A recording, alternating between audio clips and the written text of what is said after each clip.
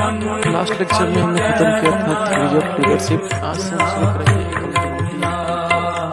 Accountability and control ये जो नया यूनिट है पब्लिक एडमिनिस्ट्रेशन का, इसको से कम तीन से चार लेक्चर्स लगेंगे इसको खत्म करने के लिए.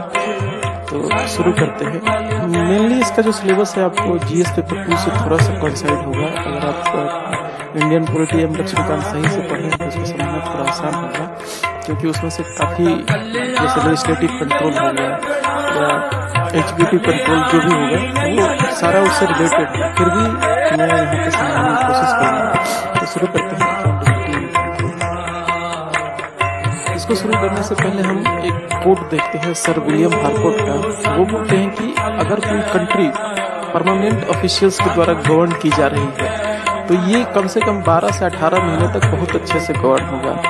लेकिन बाद में क्या होगा कि पब्लिक जो है हेड्स ऑफ़ सिविल सर्वेंट को, जो भी सिविल सर्वेंट है, उनको हैंग कर देंगे अपने नियरेस्ट लैंड पोस्ट के पास। लैंड पोस्ट होता है ना, गली में जो लैंड का पोस्ट होता है, उस पर हैंग कर देंगे। ऐसा उन्होंने क्यों कहा था? वो अकाउंटेबिलिटी और कंट्रोल सेक्टर के पढ़ के सुनाता हूँ कोट करता हूँ। If a country we are govern by permanent officials it would be extremely well govern for twelve to eighteen months then the public would hang all the heads of civil servant to the nearest land. क्यों बोला था क्योंकि जो permanent official हैं, जो civil servant हैं उन पर अगर आप कोई कंट्रोल नहीं रखेंगे और अकाउंटेबिलिटी नहीं रखेंगे तो ग्रेजुअली धीरे धीरे वो ऑथोरिटेरियन बन जाएँगे। और उसके बाद क्या होगा? State will bound to doom bound to doom कहने का क्या मतलब होता है? बाउंड टू डूम कहते हैं उसको जिसका नाश होना निश्चित है। अकाउंटेबिलिटी और कंट्रोल अगर नहीं रहेंगी तो वो क्या होंगे? सिविल सर्वेंट ऑथोरिटेरियन बन जाएँगे। ठीक है, और स्टेट का नाश होगा इसीलिए जो अकाउंटेबिलिटी और कंट्रोल है, ये दोनों एकदम नेसेसरी है वाइटल है किसी भी स्टेट के लिए, किसी भी ऑर्गेनाइजेशन के लिए भी, ठीक है, घर में भी, एक स्टूडेंट के लिए भी, हर जगह अकाउंटेबिलिटी और कंट्रोल ज़रूरी है। इसका हम डिफिनेशन देखेंगे तो समझ में आएगा क्या है, लेकिन ये बहुत ज़रूरी एस्पेक्ट है। अकाउंटेबिलिटी जो अकाउंटेबल वर्ड का प्रयोग है, वो बहुत पहले से होते आ रहा है। इसका फ़र्स्ट यूज़ देखा गया था 1583 में। ये फाइनेंशियल कॉन्टेक्स्ट में इसका यूज़ हुआ करता था। आज भी देखेंगे कि ट्रेडिशनल सिस्टम में अकाउंटेबिलिटी अगर तय करनी है तो मोस्टली फोकस होता है फाइनेंशियल अकाउंटेबिलिटी पे। जैसे बजट हो गया या आप कहीं से कुछ पैसा निकालना है गवर्नमेंट एक्सपेंडिचर कर रहा है मेन अकाउंटेबिलिटी वही तय की जाती है कि क्या रिटर्न प्रोसीजर से ये पैसा निकाला गया है कि नहीं। तो वैसे ही अकाउंटेबिलिटी जो पहले थी वो फाइनेंशियल कॉन्टेक्स्ट में इसका ज़िक्र होता था लेकिन धीरे धीरे अकाउंटेबिलिटी का बहुत ज़्यादा विस्तार हो गया है और अकाउंटेबिलिटी आज के डेट में आप देखेंगे कि बहुत तरह की अकाउंटेबिलिटी लोग सीख करते हैं, ठीक है? अकाउंटेबिलिटी को सिनोनिमस आप रिस्पॉन्सिबिलिटी से लोग भी इसको सिनोनिम की तरह यूज़ करते हैं, लेकिन दोनों में थोड़ा थोड़ा अंतर है। अब हम देखेंगे कि अकाउंटेबिलिटी है क्या। अकाउंटेबिलिटी एक पोस्ट फैक्टो मैकेनिज्म है। पोस्ट फैक्टो का मतलब जो चीज़ हो गया है तो अकाउंटेबिलिटी पोस्ट फैक्टो मैकेनिज्म है, जिसके थ्रू रिस्पॉन्सिबिलिटी को आप इन्फोर्स कर सकते हैं। उदाहरण से समझते हैं कि आप एग्ज़ाम देते हो, ठीक है? उसके बाद आपका रिज़ल्ट आता है। आपकी अकाउंटेबिलिटी कब तय होती है? आपकी रिस्पॉन्सिबिलिटी कब पता चलती है? अकाउंटेबिलिटी कब तय होती है? जब आपके रिज़ल्ट में आप फेल करते हैं, ठीक है? तब अकाउंटेबिलिटी तय होती है। अगर प्रोसेस में अकाउंटेबिलिटी तय नहीं होती तो इसीलिए इसको बोला पोस्ट करते हैं ठीक है? अब जैसे मान लीजिए कोरोना वायरस के लिए लॉकडाउन है और अगर मजदूरों को सरकार सही सही से खाना नहीं दे पा रही है तो ये क्या है? उसकी अकाउंटेबिलिटी कब तय होगी? जब उनको खाना नहीं मिलेगा तो ठीक है? इस प्रोसेस में उसकी अकाउंटेबिलिटी तय नहीं हो रही ये फेल हो जा रहा है उस चीज़ को करने में, तब सरकार को लोग अकाउंटेबल ठहरा रहे हैं। यानी कि ये जो है वो पोस्ट फैक्टो मैकेनिज्म है। ये अकाउंटेबिलिटी जो है बाद में तय होती है, ठीक है? अगर रिस्पॉन्सिबिलिटी इन्फोर्स होने के बाद रिस्पॉन्सिबिलिटी को इन्फोर्स करने का ये तरीका है। लेकिन ये रिस्पॉन्सिबल रिस्पॉन्सिबिलिटी इन्फोर्स हुआ कि नहीं, उसके बाद इसको तय किया जाता है। अकाउंटेबिलिटी को वही कंट्रोल क्या है? ये कंटेम्परेरियस है। मतलब इसको बोलते हैं ना कंटेम्पररी समकालीन, उसी से बना है। कंटेम्परेरियस का मतलब क्या है? इसका मतलब होता है offering at the same period of time यानी कि जब आप कोई एक्ट करते हैं तो कंट्रोल उसी समय तय होता है, ठीक है? कंट्रोल उसी टाइम पे चलता है, आपके साथ साथ चलता है, लेकिन अकाउंटेबिलिटी बाद में तय होती है और कंट्रोल उस काम के साथ रहता है। ठीक है? बहुत तरह का कंट्रोल हो सकता है ब्यूरोक्रेटिक कंट्रोल हो सकता है जुडिशियल कंट्रोल हो सकता है, वो बाद में देखेंगे। सबसे पहले देखते हैं कंट्रोल का डिफिनेशन कंट्रोल एक तरह का मैकेनिज्म है चेक करने के लिए कि जो भी वर्क हो रहा है, ठीक है, वो प्रॉपर मैनर में हो रहा है कि नहीं, और स्पेसिफाइड टाइम पे हो रहा है। इसको चेक करने का एक मैकेनिज्म है, जिसको हम लोग बोलते हैं कंट्रोल ठीक है? तो कंट्रोल क्या है? ये एक्ट के साथ साथ चलता है। ठीक है? जबकि accountability is post factor accountability क्या है? बाद में तय होती है। ठीक है? अकाउंटेबिलिटी क्या है? ये रिस्पॉन्सिबिलिटी को इन्फोर्स करने का एक तरीका है, जिसको हम लोग बोलते हैं अकाउंट अभी हम लोग कभी कभी सिनोनिमस भी यूज़ करते हैं। आप इस चीज़ के लिए अकाउंटेबल हैं। या कोई बोल देता है कि आप इस चीज़ के लिए रिस्पॉन्सिबल हैं। लेकिन वर्ड ओरिजिनल क्या है अकाउंटेबिलिटी अकाउंटेबिलिटी का मीनिंग है इन्फोर्समेंट ऑफ़ रिस्पॉन्सिबिलिटी यानी कि आप रिस्पॉन्सिबिलिटी इन्फोर्स करवा रहे हैं उससे। आप उसको अकाउंटेबल बना रहे हैं। ठीक है? अभी देखिए अकाउंटेबिलिटी का कम से कम बीसों मीनिंग आएगा। इसको हम लोग इस तरीके से रिस्पॉन्सिबिलिटी क्या है? कंट्रोल तो हमने देख लिया। कि कंट्रोल प्रॉपर मैनर में और स्पेसिफाइड टाइम में कोई भी चीज़ हो रहा है कि नहीं, उसको चेक करने का एक मैकेनिज्म है। अकाउंटेबिलिटी हमने देख लिया कि एक मीन्स है जिससे रिस्पॉन्सिबिलिटी को इन्फोर्स किया जा सकता है। वैसे ही अब देखते हैं रिस्पॉन्सिबिलिटी क्या है। रिस्पॉन्सिबिलिटी एक तरह का जॉब है, एक तरह की ड्यूटी है, जो किसी पर्सन को दिया जाता है, ठीक है? और उसके, उसको ये रिस्पॉन्सिबिलिटी दी जा रही है। यहाँ जो वर्ड है इंटरेस्टेड ठीक है? यानी कि उसको दिया गया है। एक तरह का ड्यूटी या रिस्पॉन्सिबिलिटी ठीक है? इन ऑर्डर टू परफॉर्म और कंप्लीट उस टास्क को कंप्लीट करने का। उस, उसको एक ड्यूटी दी गई है जॉब दी गई है उसको हम लोग बोलते हैं रिस्पॉन्सिबिलिटी फ़र्क आया होगा एक दो परसेंट हंड्रेड परसेंट का आपको कि अकाउंटेबिलिटी क्या है और अकाउंटेबिलिटी क्यों ज़रूरी है। अगर अकाउंटेबिलिटी नहीं हो तो जो भी ब्यूरोक्रेट्स हैं क्योंकि उनके पास बहुत ज़्यादा पावर है गवर्नमेंट के पास बहुत ज़्यादा पावर है वो ऑथोरिटेरियन हो जाएगा। ऑथोरिटेरियन मतलब जिसका कोई कंट्रोल नहीं वो अपना मनमाना कर इसीलिए अकाउंटेबिलिटी का होना ज़रूरी है अकाउंटेबिलिटी पे बहुत सारे विचार डिफरेंट है, ठीक है? तो हर चीज़ को देखने का नज़रिया होता है अप्रोच होता है वैसे ही अकाउंटेबिलिटी को देखने के बहुत सारे नज़रिए हैं। पहला नज़रिया है अकाउंटेबल टू हूम ठीक है? यहाँ पे हम लोग एग्ज़ाम्पल ले लेते हैं, आपकी ब्यूरोक्रेसी का, ठीक है? या एडमिनिस्ट्रेशन का एडमिनिस्ट्रेशन किसको अकाउंटेबल हो सकता है? इंटरनल हायरकी के अकाउंटेबल हो सकता है। ठीक है होम वर्ड क्या है। तो होम के इतने लोगों से अकाउंटेबिलिटी को आप निकाल सकते हैं। मतलब अकाउंटेबिलिटी टू होम किसके प्रति अकाउंटेबल जो वर्ड आ रहा है ना, उससे अकाउंटेबिलिटी के व्यू का हमारा पता चल रहा है कि अकाउंटेबिलिटी क्या है। जैसे कोई ब्यूरोक्रेट या कोई एडमिनिस्ट्रेशन है, अपना एडमिनिस्ट्रेशन को ही लीजिए वो अकाउंटेबल हो सकते हैं इंटरनल हायर इंटरनल हायर का मतलब एक टॉप डाउन मॉडल जिसमें पोस्ट एक पोस्ट के नीचे बहुत सारे पोस्ट आते हैं चेन ऑफ़ कमांड के थ्रू ज़ीरो होते हैं।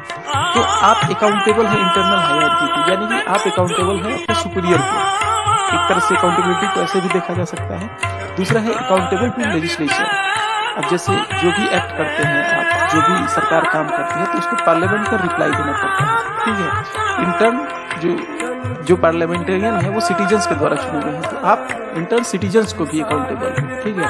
तो जो भी यहाँ पे सिविल सर्वेंट है, या एडमिनिस्ट्रेशन है, या एग्जीक्यूटिव है, वो क्या लेजिस्लेचर को भी अकाउंटेबल हो सकता है। वो जुडिशियरी को भी अकाउंटेबल हो सकता है। अगर कोई ऐसा एक्ट करता है एडमिनिस्ट्रेशन या ब्यूरोक्रेसी जिसके प्रति, जिसके खिलाफ अगर कोई सिविल सर्वेंट या सिविलियन कंप्लेन कर दे तो वो जुडिशियरी उसमें आ जाएगी और वहाँ उसकी अकाउंटेबिलिटी कर अकाउंटेबल टू सिटीजन को भी अकाउंटेबल हो सकते हैं। कैसे?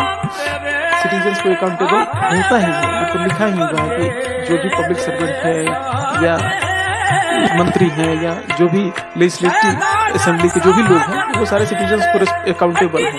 लेकिन ये सिटीजन्स की अकाउंटेबिलिटी तय कैसे होती है? ये वोटिंग के थ्रू अगर कोई पब्लिक अभी अगर कोई मंत्री है या कोई लेजिस्लेटिव असेंबली का मेंबर है, ठीक है एम पी है एम है तो उसकी अकाउंटेबिलिटी कैसे तय होगी? सिटीजन उसको वोट करके आगे बाहर निकालते ठीक है। इसलिए वो अकाउंटेबिलिटी तय होती है उस तरीके से। अकाउंटेबल टू मीडिया मीडिया भी बहुत बड़ा रोल करता है। एडमिनिस्ट्रेशन को अकाउंटेबल बनाने में, वो जो भी गलत उनके काम है, उनको दिखाता है, उस पर एक्शन लिया जाता है तो अकाउंटेबिलिटी का व्यू देखें कि आदमी हुम को अगर हम कॉन्टेक्स्ट में लें किसको अकाउंटेबल है तो उससे भी अकाउंटेबल के बहुत सारे व्यूज़ निकल जाते हैं। आदमी या कोई भी एडमिनिस्ट्रेशन या ब्यूरोक्रेसी इन चीज़ों को अकाउंटेबल कर सकते हैं। आगे देखते हैं। रोमजिक और डबनिक ने कहा था, ठीक है अकाउंटेबिलिटी जो है, उसके दो कैनोटेशन होते हैं। कैनोटेशन का मतलब क्या होता है? एक एक ऐसा वर्ड जिसके बहुत सारे अलग आंसर एक तो हम लोग देखिए कि अकाउंटेबिलिटी का मतलब इन्फोर्सिंग रिस्पॉन्सिबिलिटी लेकिन इसके बहुत सारे सिमिलर मीनिंग निकलते हैं। एक मुख्य अर्थ के अलावा और अन्य आशा निकल के आते हैं। देखते हैं कि अकाउंटेबिलिटी के और क्या आशा निकल के आते हैं। पहला है एंसरेबिलिटी ठीक है? एंसरेबिलिटी क्या है? ये ऑब्लिकेशन है। पब्लिक ऑफिशियल्स का जो कि उनको बताना है कि वो क्या कर रहे हैं। ठीक है? जो भी पब्लिक ऑफिशियल जो भी एक्ट करते हैं, उसको पब्लिक को बताना है। ठीक है? आम जनता को बताना है कि वो क्या काम कर हैं। इससे क्या है? एंसर्बिलिटी क्या होती है इसको सिनोनिमसली हम लोग बोल देते हैं अकाउंटेबिलिटी क्या होती है तो या ऐसा बोले कि अकाउंटेबिलिटी के वर्ड का एक आशय एंसरेबिलिटी भी है। ठीक है? यानी कि इसका ही एक एक्सपेक्ट एक्सपेक्ट है। ठीक है, एक पहलू है, सिक्के का दूसरा पहलू एंसरेबिलिटी किसका? अकाउंटेबिलिटी का। दूसरा है इन्फोर्समेंट ठीक है? इन्फोर्समेंट में क्या है? बहुत सारी अकाउंटिंग एजेंसी होती है, जैसे कैग हो गया, ठीक है, या पार्लियामेंट्री कमेटी हो गई, वो क्या है? इम्पोज करती है सेंक्शन ऑन पावर होल्डर यह एग्ज़ाम्पल लिया है कैग का कैग का एग्ज़ाम्पल लिया यहाँ पे दूसरा एग्ज़ाम्पल दे सकते हैं। जैसे कि मान लीजिए कि इन्फोर्समेंट एजेंसी कोई भी है जैसे सीवीसी है ठीक है? सेंट्रल बिज़नेस कमीशन का हम ले लें तो कोई भी पावर होल्डर जैसे ब्यूरोक्रेट्स है ठीक है वो अपने ड्यूटी को वायलेट करेगा ठीक है? उस पर इम्पोज किया जा सकता है सैंक्शन या हो सकता है कि यूपीएससी जो है वो डिसिप्लिनरी एक्शन है ठीक है? या उससे सलाह मांगा जाता है यूपीएससी से। तो हो सकता है कि उस पर डिसिप्लिनरी एक्शन लिया जा सकता है किसी भी टाइप पे किसी भी पावर होल्डर पे किसी भी ब्यूरोक्रेट्स पे जो कि वायलोट वायलोट करता है एक्सीड करता है अपने पावर को या उसका गलत इस्तेमाल अकाउंटेबिलिटी इसके भी संदर्भ इसके संदर्भ में इन्फोर्समेंट ठीक है ये भी इसका अब देखते हैं accountability domesticating from the perspective of domesticating power domesticating of power का मतलब क्या है कंट्रोल कंटेनिंग पावर ठीक है? तो कोई भी ब्यूरोक्रेट्स के पावर को कंटेन करने के लिए भी अकाउंटेबिलिटी का रोल आता है। कैसे आता है? तीन तरीके हैं एब्यूज ऑफ़ पावर को कंटेन किया पोटेंशियल पावर है उसका जो गलत इस्तेमाल है उसको कंटेन किया जा सकता है। जैसे subjecting the power to the डर दिखा के आप घूस लेंगे तो आपको सस्पेंड किया है यहाँ से भी अकाउंटेबिलिटी तय की जा सकती है अगर आप ये एक्ट नहीं करेंगे आपको सैंक्शन कितनी दी जाएगी रिफ्लेक्ट है। इसलिए accountability obliging the power to exercise transparency जैसे कि आर टी आई है। ठीक है राइट टू वो क्या करता है? जो भी पावर है अथॉरिटी अथॉरिटी पावर हम लोग सिनोनिमस बोल देते हैं जो भी एडमिनिस्ट्रेटिव एजेंसी है या एडमिनिस्ट्रेटर है या ब्यूरोक्रेट है वो अगर अपना पावर ट्रांसपेरेंट वे में एक्सरसाइज कर रहे हैं। अगर ये पता हमें चल जाए तो ये क्या है? अकाउंटेबिलिटी तो आर टी आई है ठीक है? ये क्या है? सिस्टम में ट्रांसपेरेंसी नहीं है काम करते हैं? आप कुछ जानकारी इससे क्या है? इससे भी अकाउंटेबिलिटी तय होती है। ये सारी चीज़ें क्या है? जो कंटेन कर रही है पावर किसी भी ब्यूरोक्रेट के पावर को ये कम कर रही है। ठीक है? कम इन द सेंस नहीं कर रही है उसका सही उपयोग करने को मजबूर कर रही है उसका ओवर यूज़ करने को रोक रही है ठीक है। Forcing the power to justify अगर आपको लग रहा है कोई भी नहीं है भी काम किया है पुलिस ने गलत किया है। तो आप क्या कर सकते हो? अपील कर सकते हो कोर्ट में ठीक है? आप जैसे फंडामेंटल कहीं आपका है तो आपको आर्टिकल थर्टी टू के अनुसार कहाँ जा सकते हो सुप्रीम कोर्ट अपनी ट्वेंटी सिक्स के अनुसार हाई कोर्ट वहाँ जाके। बोल सकते हो कोर्ट में ये तो कोर्ट बहुत सारे रीट इशू कर सकती है। और बोल सकती है, सरकार को या एडमिनिस्ट्रेशन को या किसको जस्टिफिकेशन के लिए ये भी क्या है? है? का और इसको क्या है? आप इंश्योर कर सकते हो, क्या इंश्योर कर सकते हो?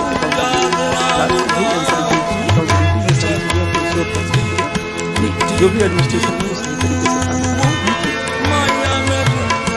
अगला है टाइप्स ऑफ़ आप देखिए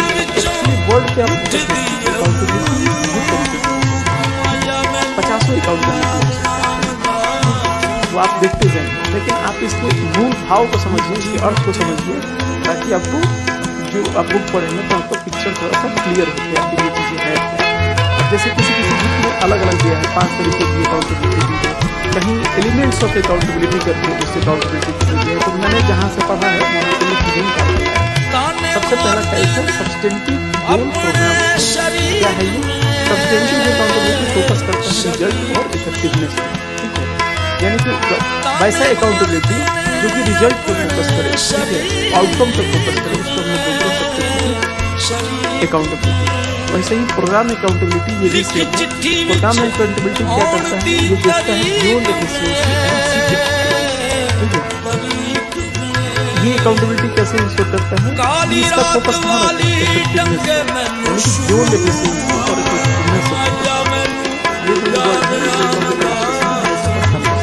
एफिशिएंसी क्या है और इफेक्टिवनेस क्या है? देखते हैं। एफिशिएंसी का मतलब होता है कि how well something is done यानी कि कितना अच्छी तरह से क्या काम किया गया ठीक है? इफेक्टिवनेस का मतलब है कि हाउ यूजफुल समथिंग इज़ वो कितना चीज़ यूज़ एग्ज़ाम्पल की तरह अगर देखेंगे अगर बिहार सरकार के बहुत सारे स्कूल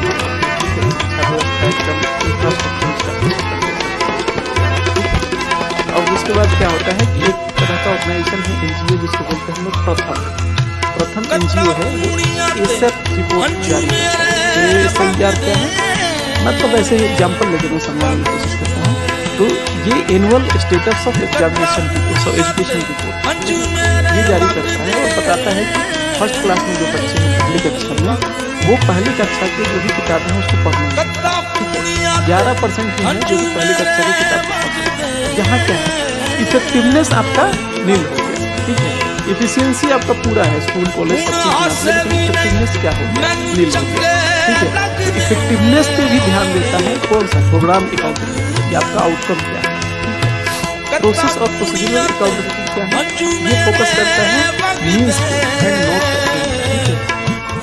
ये जस्ट लिखने का तरीका है। इनका मतलब क्या होता है? गोल मीन्स का तरीका क्या होता है? जिसके थ्रू आप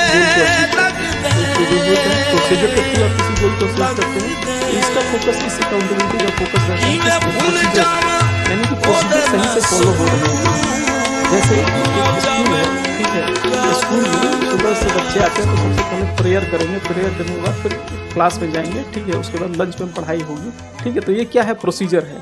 तो प्रोसीजरल अकाउंटेबिलिटी क्या तय करेंगी? कि जैसे हम एक प्रोसीजरल अकाउंटेबिलिटी तय करते हैं हेडमास्टर का, ठीक है, अगर हेडमास्टर तय करे स्कूल की प्रोसीजरल अकाउंटेबिलिटी तो वो देखेगा कि ये सारी चीज़ें बाय प्रोसीजर हो रही कि नहीं, ठीक है तो यहाँ प्रोसीजरल अकाउंटेबिलिटी पे फोकस है। यहाँ इंड पे नहीं मीन्स पे फोकस है। ठीक है?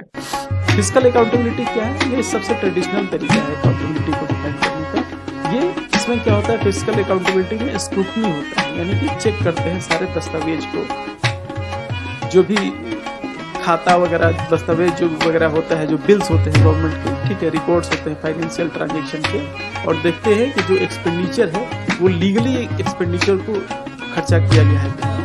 यानी कि कोई करप्शन तो नहीं हुआ है। जो भी लिखा हुआ है अमाउंट उतना अमाउंट सही में खर्चा हुआ कि नहीं है, सही में विड्रॉ हुआ कि नहीं फाइनेंशियल अकाउंटेबिलिटी ये सब अकाउंटेबिलिटी ये क्या है? टाइप जैसे देख लिया हमने programme accountability process procedural accountability financial accountability चलते हैं। अगला है एलिमेंट्स ऑफ़ अकाउंटेबिलिटी एलिमेंट्स का मतलब क्या होता है? घटक। घटक हम लोग पढ़ते हैं ना, जैसे बहुत सारे पार्ट जो बोलते हैं। वही है एलिमेंट्स ऑफ़ अकाउंटेबिलिटी ठीक है? अब देखिए, हम लोग अभी डिस्कस करेंगे पब्लिक पॉलिसी और एडमिनिस्ट्रेशन के संबंध में। ठीक है? यानी अकाउंटेबिलिटी बहुत तरीके की होती है, लेकिन हम लोग का कहाँ ध्यान है? पब्लिक एडमिनिस्ट्रेशन पे है। ठीक है? और पब्लिक पॉलिसी पे है। इस कॉन्टेक्स्ट में जाबरा एंड द्विवेदी ने पाँच एलिमेंट्स बताए हैं। ठीक है? जो भी अकाउंटेबिलिटी है, उसके पाँच एलिमेंट्स हैं। और एलिमेंट्स का मतलब क्या है? जो भी किसी भी चीज़ का जो इम्पोर्टेंट पार्ट होता है, उसको हम लोग बोलते हैं है तो अभी देखते हैं अकाउंटेबिलिटी का पहला एलिमेंट है ऑर्गेनाइजेशनल और एडमिनिस्ट्रेटिव अकाउंटेबिलिटी ठीक है? एडमिनिस्ट्रेटिव अकाउंटेबिलिटी क्या है? जो ट्रेडिशनल हायरार्किक अकाउंटेबिलिटी है ऑर्गेनाइजेशन के अंदर ही। ठीक है? अब जैसे एग्जांपल से समझिए। वेबेरियन मॉडल में क्या था? वेबेरियन ने बोला वेबेरियन मॉडल में बोला गया था कि चेन ऑफ़ कमांड रहता है एक चीफ एग्जीक्यूटिव रहता है उसके नीचे बहुत सारे वर्कर्स रहते हैं। ठीक है मैनेजर्स रहते हैं उस मैनेजर के नीचे बहुत सारे वर्कर्स रहते हैं। तो ऑर्गेनाइजेशनल और एडमिनिस्ट्रेटिव अकाउंटेबिलिटी में क्या होता है? ये सेम वेवेरियन मॉडल में बताया गया है सेम उसी तरह का अकाउंटेबिलिटी है। ठीक है? इसमें क्या होता है कि जो भी ऑर्गेनाइजेशन के अंदर के ही लोग हैं वो एक दूसरे को करेक्ट करते हैं। ठीक है? वही एक दूसरे को स्क्रूटनी करते हैं। ठीक है सुपरवाइज करते हैं, ठीक है। कैसे करेंगे through span of control and unity of command यानी कि जो भी कमांड देगा, वो सीनियर देगा और वो जो कमांड देगा, वो नीचे वाला फॉलो करता है, ठीक है? यानी कि ये जो नीचे वाला वर्कर है, ये अकाउंटेबल होगा किसको? अपने सीनियर को एंसरेबल होगा अपने सीनियर को, ठीक है? और सीनियर क्या करेगा? इसको करेक्ट करेगा, ठीक है? एक दूसरे को करेक्ट करेगा इन केस ऑफ़ डेविएशन यानी कि जैसा जो रूल है let down rules and procedure है, उससे अगर कुछ डेविएशन होता है तो क्या करेगा? सीनियर करेक्ट करेगा। यानी कि एक हायरार्की के अंदर के ऑर्गेनाइजेशन के अंदर के ही मेंबर एक दूसरे को करेक्ट करते हैं। ये क्या है? ये इन्फ्लुएंस्ड है वेबरियन मॉडल से ये है इसको हम लोग बोलते हैं ऑर्गेनाइजेशनल और एडमिनिस्ट्रेटिव अकाउंटेबिलिटी ठीक है? जैसे अगर पुलिस एजेंसी में कोई काम कर रहा है इंस्पेक्टर ठीक है? तो वो क्या है? अपने ऊपर वाले सीनियर को सुपरिटेंडेंट ऑफ़ पुलिस को, जो कप्तान होगा, उसको अकाउंटेबल होगा, उसको इंसरेबल होगा, अपने एक्ट्स के लिए। अगर वो कुछ गलती करेगा तो उसका जो सीनियर है, उसको समझा सकता है कि नहीं? ये गलत है। तो वहाँ से भी अकाउंटेबिलिटी तय की जा सकती है। दूसरा है लीगल अकाउंटेबिलिटी ठीक है? तो जैसे कोर्ट है कोर्ट के एक्शन के थ्रू भी लीगल अकाउंटेबिलिटी तय की जा सकती है। ठीक? जुडिशियल रिव्यू है। जुडिशियल रिव्यू क्या है? ये आगे भी पढ़ेंगे हम लोग। जुडिशियल रिव्यू में कोई भी लेजिस्लेशन क्रिएट होता है। ठीक है? कोई भी एक्ट बनता है या लेजिस्लेशन बनता है। लग रहा है कि वो आपके अधिकारों का हनन कर रहा है। तो आप अपील कर सकते हैं कोर्ट में और उसको एडजुडिकेट करके कोर्ट उसको नल एंड वाइड कर सकते हैं। तो कोर्ट लीगल अकाउंटेबिलिटी कौन तय करता है?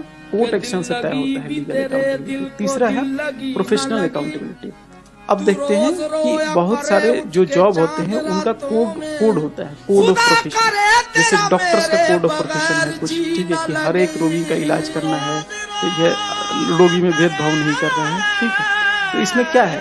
हर हर एक प्रोफेशनल अकाउंटेबिलिटी रहती है। यानी कि आपके जॉब के प्रति भी आपकी अकाउंटेबिलिटी होती है। अब इसमें केस आ जाता है कि कभी कभी हो सकता है कि प्रोफेशनल अकाउंटेबिलिटी और पब्लिक इंटरेस्ट आपस में कोलैप्स कर जाए एक दूसरे को कंट्राडिक्ट कर जाए तो उसमें उस केस में क्या हो सकता है जो पब्लिक इंटरेस्ट है उस पर आपको ध्यान देना होता है। यानी पब्लिक इंटरेस्ट जो है ओवर रूल कर देगी प्रोफेशनल इंटरेस्ट समझ गए प्रोफेशनल अकाउंटेबिलिटी क्या है? क्या, क्या है कि हर एक जॉब का कुछ कोड ऑफ़ प्रोफेशन होता है कोड ऑफ़ इथिक्स होता है जैसे डॉक्टर का है कोड ऑफ़ इथिक्स नर्सेज का है। ठीक है ये क्या है? ये पब्लिक इंटरेस्ट को प्रोटेक्ट करने के लिए इनका कोड ऑफ़ इथिक्स होता है। लेकिन किसी केस में अगर ये दोनों कोलैप्स करते हैं, यानी कि प्रोफेशनल इंटरेस्ट और पब्लिक इंटरेस्ट तो क्या इसमें प्रोफेशनल इंटरेस्ट को पब्लिक इंटरेस्ट ओवर रूल कर देगा? जैसे कि डॉक्टर के पास अगर मास्क नहीं है ठीक है अवेलेबल इक्विपमेंट नहीं है, लेकिन फिर भी अगर पब्लिक इंटरेस्ट है कि नहीं, सबको कोरोना के लिए टेस्ट करना है या उनकी देखभाल करनी है तो डॉक्टर का प्रोफेशनल प्रोफेशनल इथिक्स जो है, वो कुछ दूसरा कर रहा होगा प्रोफेशनल कोड कि नहीं, आप बिना ऑपरेटर्स के कुछ नहीं कर सकते, ये वो कुछ होगा। लेकिन फिर भी यहाँ जो जनरल पब्लिक इंटरेस्ट है, उसके लिहाज से प्रोफेशनल अकाउंटेबिलिटी को ओवर रूल कर देगा, जो जनरल पब्लिक इंटरेस्ट है। तो प्रोफेशनल अकाउंटेबिलिटी पे फोकस करें, ये क्या है? जॉब के से रिलेटेड जो भी आपकी अकाउंटेबिलिटी है। अब आते हैं पॉलिटिकल अकाउंटेबिलिटी ये क्या है? सारे हम डिस्कस कर रहे हैं एलिमेंट्स ऑफ़ अकाउंटेबिलिटी के। ठीक है। तो डेमोक्रेसी में क्या होता है? जो भी एडमिनिस्ट्रेटर है, उन, उनको रिकॉग्नाइज करना पड़ता है पॉलिटिकल पावर को या पॉलिटिकल अथॉरिटी को। ऐसा बोला जाता है कि जो डेमोक्रेसी है, उसमें पॉलिटिशियन सबसे ज़्यादा ताकतवर है, यानी ब्यूरोक्रेट से भी ताकतवर है, ठीक है? तो इसीलिए पॉलिटिकल अथॉरिटी के पावर को रिकॉग्नाइज करना पड़ता है, उनको मानना पड़ता है, उनके ऑर्डर को कंप्लायंस करना पड़ता है, ठीक है? जो भी ऑर्डर देते हैं पॉलिटिकल एग्जीक्यूटिव उनको मानना पड़ता है पॉलिटिकल एग्जीक्यूटिव मज़बूत ठीक है? तो क्यों ऐसा सिस्टम बनाया गया कि पॉलिटिकल एग्जीक्यूटिव को ही हाई रखा गया? पॉलिटिकल अकाउंटेबिलिटी तय की गई। क्यों ऐसा है?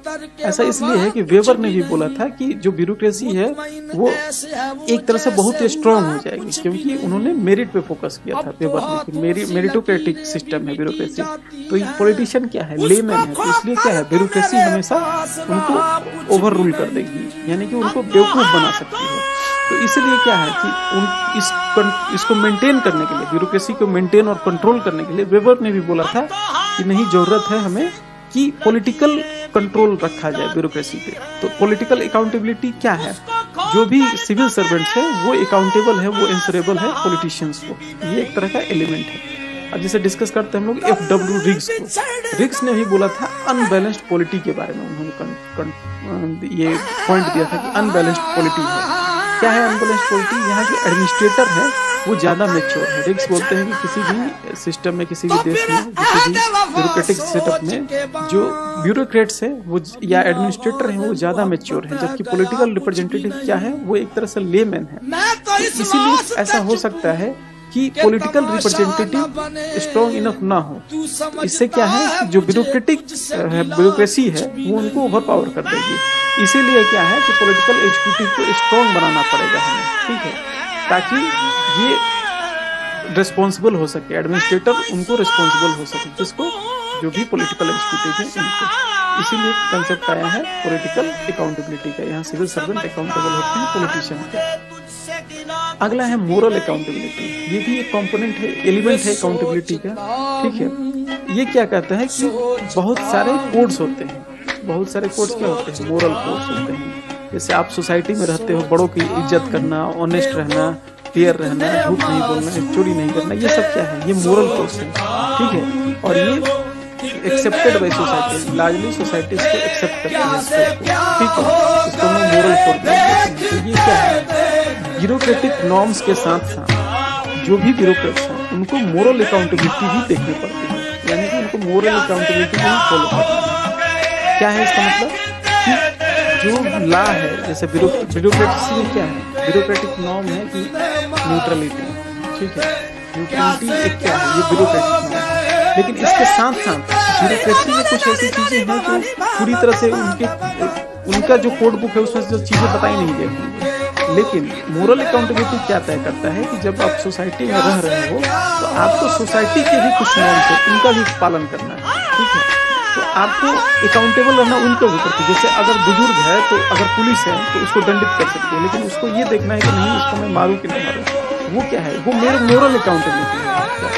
अगर रूल रेगुलेशन से चलोगे तो कोई भी अगर वायलेट करता है किसी रूल को तो उसको मारो तो मारा तो नहीं जा सकता है, लेकिन पनिश किया जा सकता है। लेकिन इस केस में क्या है? मोरली आप मोरल अकाउंटेबिलिटी है तो आप क्या है? आप ये काम नहीं करेंगे।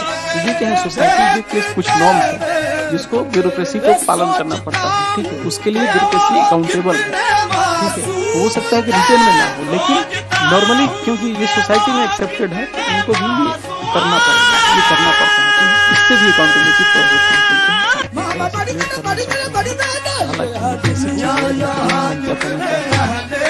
जो भी डेमोक्रेसी है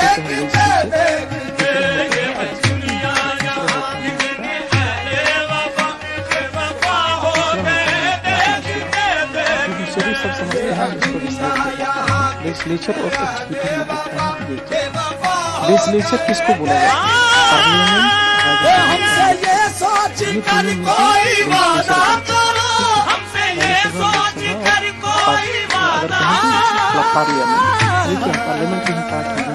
तो ये क्या है लेजिस्लेचर एग्जीक्यूटिव क्या है एग्जीक्यूटिव में आते हैं प्रेसिडेंट आ सकते हैं वाइस प्रेसिडेंट आ सकते हैं काउंसिल ऑफ़ मिनिस्टर्स आ सकते हैं अटॉर्नी जनरल आ सकते हैं। ये क्या है एग्जीक्यूटिव है अब इसमें इसमें और भी लोग आ सकते हैं। जैसे गवर्नर आ सकते हैं प्राइम मिनिस्टर आ सकते हैं। पूरा कैबिनेट दिया गया इसमें साथ में जो सिविल सर्वेंट काम करते हैं, वो भी आ सकते हैं। एग्जीक्यूटिव अब एग्जीक्यूटिव का काम क्या? है ये रिस्पॉन्सिबल होता है इम्प्लीमेंटेशन ऑफ़ लॉ एंड जो कि लेजिस्लेचर बनाता है और पास करता है, उसके एग्जीक्यूशन के लिए ये उत्तरदायी रहता है अकाउंटेबल एग्जीक्यूटिव और इसमें आप देखिए कि सिविल सर्वेंट दिया जाता है, इसी एग्जीक्यूटिव के पास।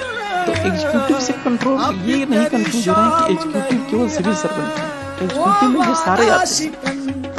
और दूसरा चीज़ ध्यान देने वाला है कि इसमें बहुत सारे लोग एग्जीक्यूटिव के साथ साथ लेजिस्लेचर के भी जैसे कि मैं बताऊँ प्राइम मिनिस्टर क्या है? वो लेजिस्लेचर के भी पार्लियामेंट के भी सदस्य है ना प्राइम मिनिस्टर उसके बाद काउंसिल ऑफ़ मिनिस्टर क्या है? ये भी पार्लियामेंट के सदस्य है। तो एक तरह से जो एग्जीक्यूटिव है, वो किसी दूसरे टाइम पर वो लेजिस्लेचर का भी काम कर रहा है। लेजिस्लेचर का काम क्या है? लेजिस्लेचर का काम है कि जो भी है, लोगों के, लोगों का बोल रहा हूँ, जो भी ला है ला बनाना रूल बनाना ठीक है? एक तरह से बोलिए तो पॉलिसिंग देखेंगे बॉडी तो लेजिस्लेचर का क्या काम क्या है? जो भी पॉलिसी बनाना प्रेसिडेंट के पास एसेंट के लिए भेजना है, और जब बिल पास हो जाए तो वो एक्ट बन जाता है, और उसी एक्ट को एडजुडिकेट करता है। लेकिन इन सब के बीच में, इनके कुछ सदस्य एग्जीक्यूटिव के कुछ सदस्य, वो हिस्सा रहते हैं लेजिस्लेचर के तो ये दोनों चीज़ें ध्यान में रखनी है। अगर मैं बात करूँगा आगे चल के लेजिस्लेटिव कंट्रोल इन द इस सेंस में मत लीजिएगा लेजिस्लेटिव कंट्रोल का मतलब क्या है? लेजिस्लेचर कंट्रोल करेगा एडमिनिस्ट्रेशन को, या एग्जीक्यूटिव को। ठीक है? ऐसा नहीं कि लेजिस्लेटिव कंट्रोल में बोल रहा हूँ तो ये सोचेगा कि हाँ मंत्री मंत्री जो हैं प्राइम मिनिस्टर हैं, वो कंट्रोल कर रहे हैं, जो भी नीचे के पब्लिक सर्वेंट तो वो हो गया लेजिस्लेटिव कंट्रोल नहीं, वो एग्जीक्यूटिव कंट्रोल वो अलग चीज़ है। लेजिस्लेटिव कंट्रोल का है मतलब कि मैं अगर लेजिस्लेटिव कंट्रोल बनूँगा, इसका मतलब मैं पार्लियामेंट को ले रहा है। इसमें मैं सेपरेटली पीएम को नहीं ले रहा हूँ और काउंसिल ऑफ़ मिनिस्टर को नहीं ले रहा हूँ। वो एग्जीक्यूटिव अलग है। भले ही पार्लियामेंट के पार्ट है लेकिन अगर लेजिस्लेटिव कंट्रोल में बोलूँगा तो केवल लोकसभा और राज्यसभा का ही कंट्रोल होगा। ठीक है इतना बेसिक है इसको समझ लीजिए। अब इसके बाद हम लोग डिस्कस करेंगे नॉर्मली इंटरनल कंट्रोल क्या होता है और एक्सटर्नल कंट्रोल क्या होता है? सबसे देखिए इंटरनल कंट्रोल देखिए ऑर्गेनाइजेशन में अंदर का एक एडमिनिस्ट्रेटिव मैसेंट्री है ठीक है? अंदर भी हायरार्की रहता है। वो हायरार्की क्या करता है? वो जो एडमिनिस्ट्रेटिव मैसेंट्री है, वो ऑटोमेटिकली कंट्रोल करता है। स्पॉन्टेनियस कंट्रोल रहता है। यानी कि एक तरह से जो अंदर की हायरार्की है, वो एक तरह से ब्रेक करती है। वो कंट्रोल करती है। वो एक्सेस ऑफ़ पावर को एक्सरसाइज होने ही नहीं देती। इसीलिए क्या है एक तरह से बोले तो सेल्फ रेगुलेटिंग डिवाइस है। इंटरनल अकाउंटेबिलिटी है ना तो सेल्फ रेगुलेटिंग डिवाइस है। अब इंटरनल अकाउंटेबिलिटी से क्या होगा? इसको कहने का मतलब किसी ऑर्गेनाइजेशन के अंदर के ही जो रूल्स हैं, या पोस्ट हैं, या हैराकी है, या कुछ भी है वो सब ऑर्गेनाइजेशन के ही अंदर तो मैं बोलूँ अगर कि लीडरशिप ये क्या है? ऑर्गेनाइजेशन का ही पार्ट है। हरारकी ठीक है ये भी ऑर्गेनाइजेशन का ही पार्ट है। बजटरी कंट्रोल की बात करें सब ये ऑर्गेनाइजेशन के अंदर ही चल रहा है। लेकिन अगर हम मैं बोल प्रेस सिविल सोसाइटी ठीक है सोशल ऑडिट ऐसे शब्दों का इस्तेमाल करूँ तो ये क्या है? ये बाहर की चीज़ें हैं। ये ऑर्गेनाइजेशन के अंदर की चीज़ें नहीं है। तो एक्सटर्नल कंट्रोल क्या हो गया? ये सारी चीज़ें एक्सटर्नल कंट्रोल में और इंटरनल कंट्रोल में क्या आएँगी? ये सारी जो अंदर की चीज़ें तो यहाँ आप देखिए ए बी सी जी इसमें आप पढ़िए budgetary control personnel management control ये क्या है? ये type of internal control internal control क्या है?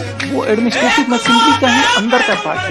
जो कि ऑटोमेटिकली ठीक है धीरे धीरे सेल्फ रेगुलेट करता है। एक तरह का ब्रेक का काम करता है अब इसमें सबसे पहला है बजटरी कंट्रोल कंट्रोल कब कंट्रोल कब होगा? कंट्रोल क्या है? हम लोग डेफिनेशन नहीं पढ़े थे कोई भी टारगेट है, कोई भी गोल है उसको पूरा करने का एक कंट्रोल एक तरीका है, ठीक है? स्पेसिफाइड टाइम में या स्पेसिफाइड तरीके से वो काम हो रहा है वो कंट्रोल नहीं करता कंट्रोल करता है, ठीक है? यानी कि कंट्रोल एक मैकेनिज्म है कंट्रोल क्या करता है कंट्रोल कंट्रोल थोड़ी करेगा कंट्रोल एक मैकेनिज्म है, जिसके थ्रू हम लोग ये इंश्योर करते हैं कि वो चीज़ें समय पर हो रही है तो बजटरी कंट्रोल क्या होता है कि हर एक डिपार्टमेंट में जो भी ऑफिशियल है, उनको फंड दिया जाता है, हर एक ऑर्गेनाइजेशन को फंड दिया जाता है। ठीक है। और उनको क्या है कि उसी फंड के अंतर्गत सारे काम करना है। ठीक है। तो अगर उस फंड के बाहर जाके वो भी कोई काम कर रहे हैं तो वो क्या है? उसके लिए अकाउंटेबल है। वो इंसरेबल हो जाएँगे।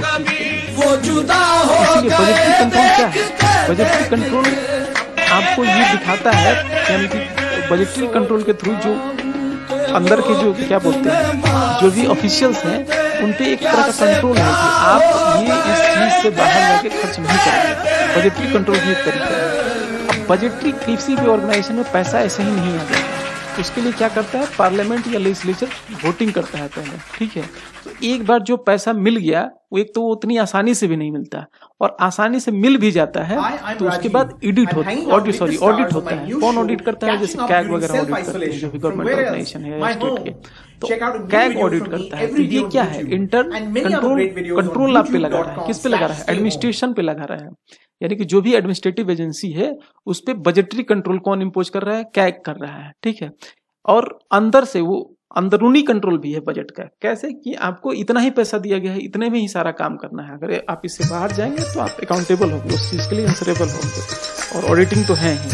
तो ये बजटरी कंट्रोल है। दूसरा है personnel management control personnel management क्या है? जैसे हायरिंग फायरिंग ये सारी चीज़ें क्या है? पर्सनल मैनेजमेंट में आती है। तो हर एक ऑफिशियल जो भी काम करता है किसी ऑर्गेनाइजेशन में, उसको बताया जाता है कि उसका रैंक क्या है ग्रेड क्या है सैलरी क्या है क्या क्या रूल्स एंड रेगुलेशन है जो कि आपके वर्क कंडीशन को गवर्न करेंगे या आपके कंडक्ट को गवर्न करेंगे। ठीक है?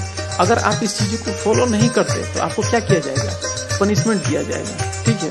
तो पनिशमेंट के डर से डर ही कहिए इसको तो पनिशमेंट के डर से या एक तरह का ला बनाया गया है कि आप इसके अकॉर्डिंग नहीं चलोगे। ये रूल्स हैं कंडक्ट है, उनके अकॉर्डिंग नहीं चलोगे तो आपको पनिश किया जाएगा। तो ये क्या है?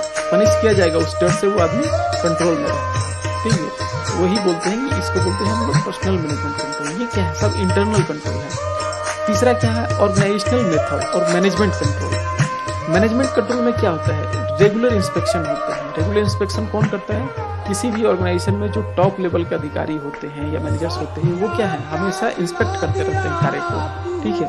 कि ये काम सही से हो रहा है कि नहीं ऑर्गेनाइजेशन सही कैसे हो रहा है कि नहीं, वो क्या है? एक तरह से मैनेजमेंट कंट्रोल है एक तरह या फिर ट्रेनिंग देना, ठीक है? कोई भी, जो भी रिक्वायर्ड ट्रेनिंग है ऑफिसर्स को देना, ठीक है? ताकि वो अपने एफिशिएंटली रिस्पॉन्सिबिलिटी को एग्जीक्यूट कर पाए। इस, ये भी क्या है? एक तरह का ऑर्गेनाइजेशनल मेथड है। मैनेजमेंट का एक तरह का कंट्रोल करने का तरीका है। उसके है एडमिनिस्ट्रेटिव इथिक्स एंड प्रोफेशनल यानी कि एडमिनिस्ट्रेटिव इथिक्स जो है, बहुत इंपॉर्टेंट पार्ट है पब्लिक एडमिनिस्ट्रेशन का। इसमें क्या है? कुछ मोरल्स होते हैं, कुछ कोड ऑफ़ इथिक्स होते हैं, कुछ एक्सेप्टेड बिलीफ होते हैं, ठीक है? और ये क्या है? सारे ऑफिशियल एक दूसरे में इसको प्रमोट करते हैं ताकि इसको अपनाया जाए एडमिनिस्ट्रेटिव इथिक्स अपनाया जाए ये भी क्या है? एक कंट्रोल का तरीका है। आप इथिक्स से हट के कुछ काम करोगे तो वो आपको अंदर से बोलेगा कि नहीं, ये तरीका सही नहीं है। वो क्या है? आपको अकाउंटेबल ठीक है। लीडरशिप है लीडरशिप भी आप देखिए किसी भी ऑर्गेनाइजेशन में लीडरशिप भी एक कंट्रोल का तरीका है। अब हम लोग यहाँ मैनेजमेंट के जगह लीडरशिप क्यों बोल रहे हैं? क्योंकि लीडरशिप पॉजिटिव कनेक्टेशन है लीडरशिप यानी पॉजिटिव वे में यूज़ करता है। लीडरशिप अब मैनेजर को बोले तो वो थोड़ा निगेटिव चला जाता है ज़्यादा फॉर्मल हो जाता है। तो जैसे जैसे किसी ऑर्गेनाइजेशन के हायरार्की में आप ऊपर की तरफ़ जाएँगे लीडरशिप का एक्सेप्टेंस जो है, वो बढ़ता जाएगा।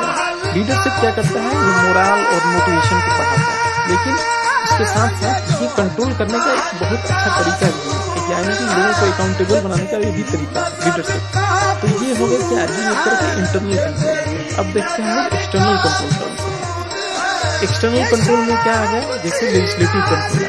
ये भी अकाउंटेबिलिटी तय करता है। कंट्रोल प्लस अकाउंटेबिलिटी भी तय करता है। अभी देखेंगे।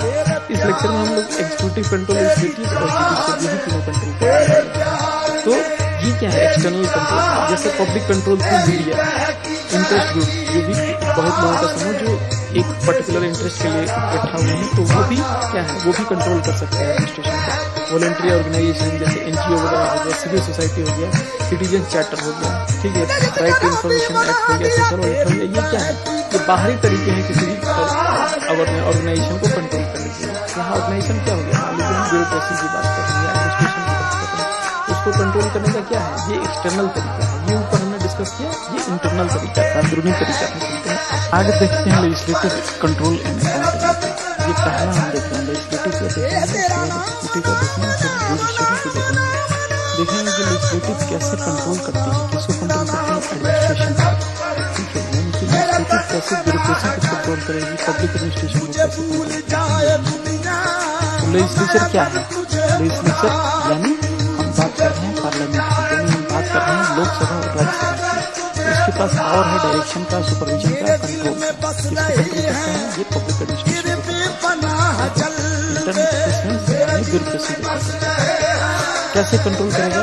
ब्यूरोक्रेसी की हम देखेंगे सबसे पहले एग्ज़ाम्पल से डेलीगेटेड यानी control of delegated delegated legislation क्या है? उसको बाई लॉ इसको सबॉर्डिनेट लेजिस्लेशन देखते हैं ये है क्या चीज़?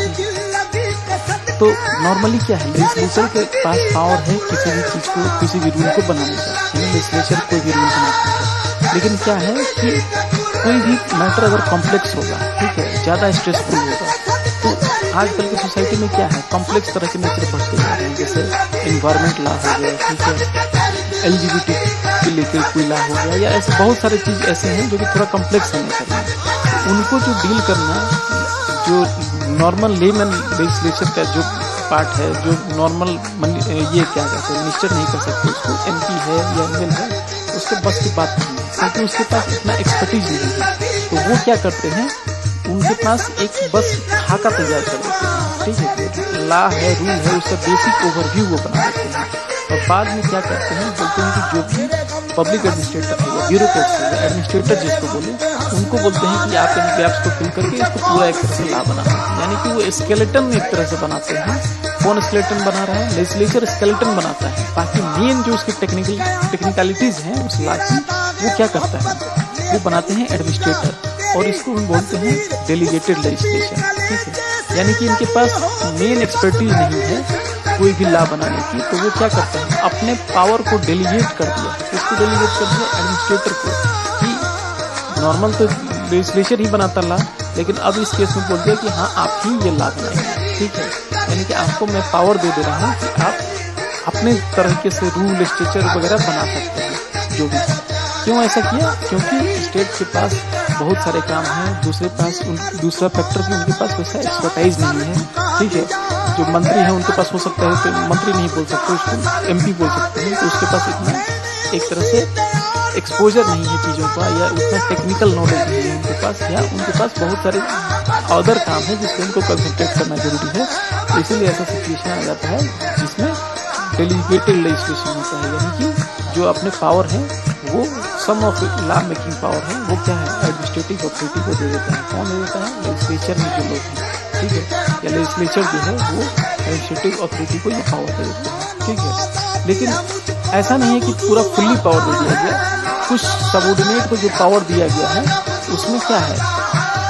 वो जो लॉ बनाएँगे, वो बनेगा सब्जेक्ट होगा सब्जेक्टिव टू जुडिशियल यानी कि जो कोर्ट है, वो एडजुडिकेट कर सकती है कि वो जो लॉ है, वो सही है कि ठीक है? यानी कि जो भी एग्रीमेंट हुआ है, जो भी लेजिस्लेचर है या एडमिनिस्ट्रेटर के बीच में, जो भी एग्रीमेंट है, उनको अगर वो फुलफिल नहीं कर पा रहे हैं वो ला यानी कि वो अपना बॉर्डर क्रॉस कर रहा है, जो जो एग्रीमेंट हुआ था जो लिमिट सेट हुआ था उसमें उस केस में क्या हो सकता है? क्योंकि जुडिशियल रिव्यू के दौरान उसको नल एंड वाइट किया जा सकता है। इसके द्वारा कोर्ट के द्वारा हाईकोर्ट या सुप्रीम कोर्ट के द्वारा। तो ये है डेलीगेटेड लेजिस्लेशन लेकिन आजकल के दौर में क्या हो गया है जो, जो भी ला है जो बनाते हैं काफ़ी टेक्निकल हो गया इसलिए उनके पास स्पेशलिस्ट नॉलेज नहीं है। तो वो क्या करते हैं? जो भी लेजिस्लेचर है जो लेजिस्लेटिव असेंबली के मेंबर्स हैं वो जनरल प्रिंसिपल दे देते हैं बेसिक आइडिया रूल्स दे देते हैं। और जो भी टेक्निकल डिटेल्स है, वो उसको एडमिनिस्ट्रेशन को छोड़ देते हैं कि ताकि आप रूल बनाइए।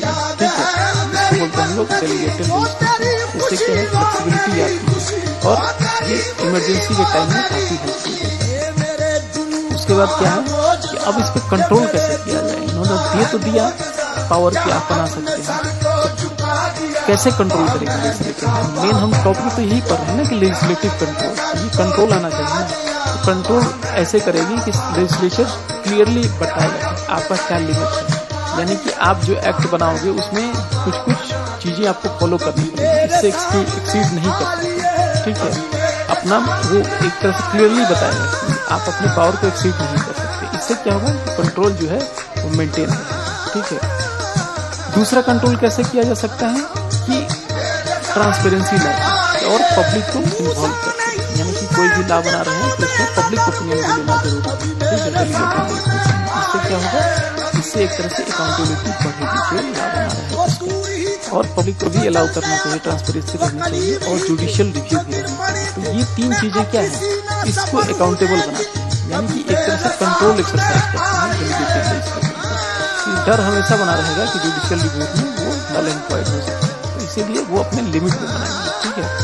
दूसरा जो एग्रीमेंट है लेजिस्लेचर के बीच में और एग्जीक्यूटिव के बीच में, ऐसा होना चाहिए कि आपको ये लिमिट क्रॉस नहीं करना तो ये है पहला लेजिस्लेटिव कंट्रोल का ये फ़र्स्ट पार्ट है कंट्रोल ऑन डेलीगेटेड लेजिस्लेशन हमने देखा डेलीगेटेड लेजिस्लेशन क्या है और उसका कैसे कंट्रोल किया जा है। दूसरा है प्रेसिडेंट स्पीच प्रेसिडेंट स्पीच कैसे कंट्रोल करता है? एडमिनिस्ट्रेशन को तो जब भी दोनों हाउस जैसे पार्लियामेंट का नया सेशन स्टार्ट होता है, उसके बाद क्या, उससे पहले क्या होता है प्रेसिडेंट एक अपने स्पीच देते हैं। उसमें क्या है, वो बताते हैं गवर्नमेंट के पॉलिसी एक्टिविटीज़ को, जो अगले साल में वो क्या क्या चीज़ें करेंगी। उस पर प्रेसिडेंट अपना भाषण देते हैं। अब उनके लेक्चर के बाद क्या है जनरल डिस्कशन होता है। यानी कि प्रेसिडेंट जो स्पीच देते हैं, उसी पे जनरल डिस्कशन होता है। और ये क्या है, एक तरह का अपॉर्चुनिटी प्रोवाइड कराता है, जो भी पार्लियामेंटेरियन है वो क्रिटिसाइज कर सकते हैं कि सरकार के स्टेप को या एक तरह से अकाउंटेबल बना सकते हैं कि आप ये ड्यूटी नहीं कर रहे हैं, आप आप देखिए आपका परफॉर्मेंस यही है। तो वो एक तरह से क्या है? पार्लियामेंटेरियन जो है, वो एग्जीक्यूटिव पे अपना एक्सरसाइज कर रहे हैं, अपने कंट्रोल का एक्सरसाइज कर रहे हैं। एग्जीक्यूटिव इन द सेंस क्या?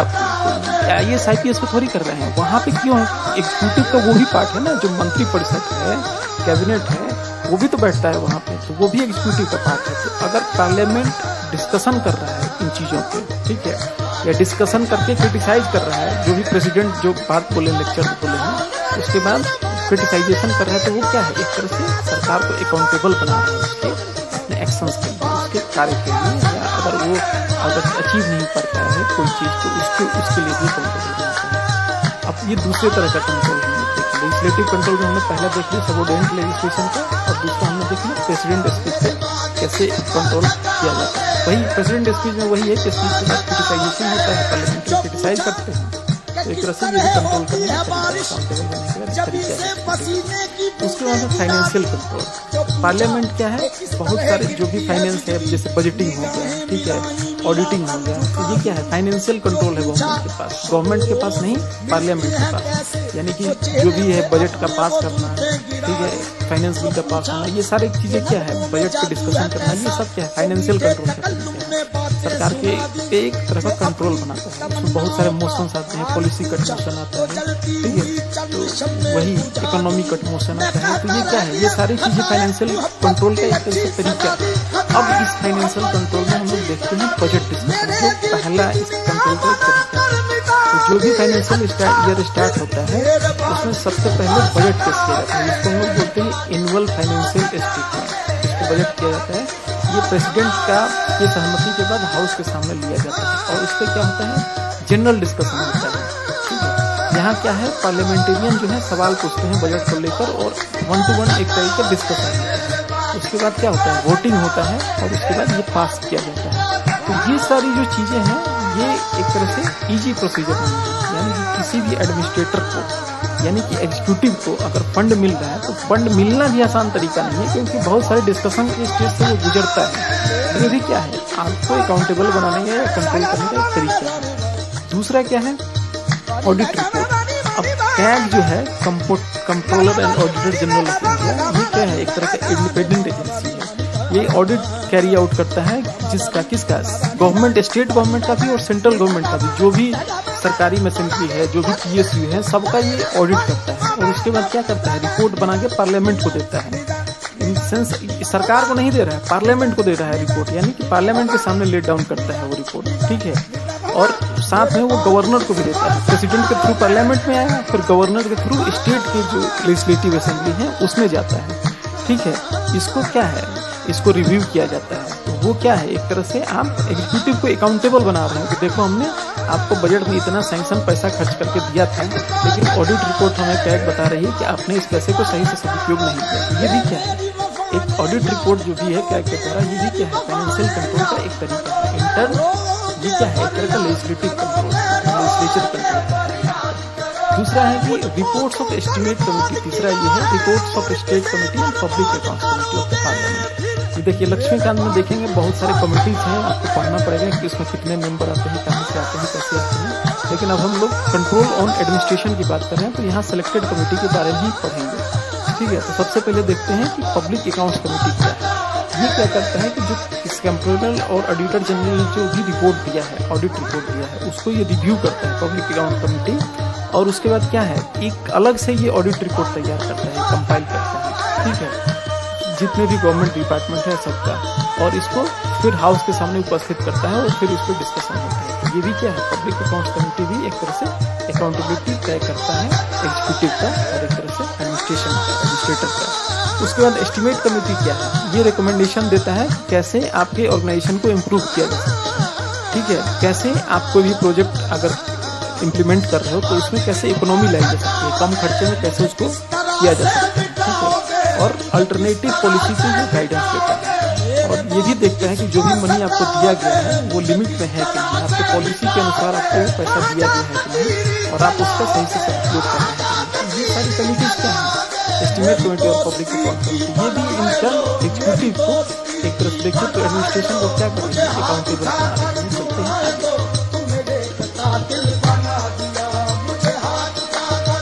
अगला है other forms of legislative control इसमें बहुत सारी चीज़ें हैं एक एक करके देखते हैं। सबसे पहले क्वेश्चन आवर क्वेश्चन आवर क्या है कि जब भी कोई भी डे ऑफ़ पार्लियामेंट का जैसे लोकसभा होगा उसका जो पहला दिन शुरू होता है, उसमें जो पहला घंटा, यानी 11 बजे से 12 बजे का समय सुबह का, वो रिज़र्व रहता है क्वेश्चन आवर के उसमें 30 से 40 मिनट तक ओरल क्वेश्चन पूछे जाते हैं, ठीक है? और उसके बाद सप्लीमेंट्री क्वेश्चन पूछे जाते हैं उसके बाद, ठीक है?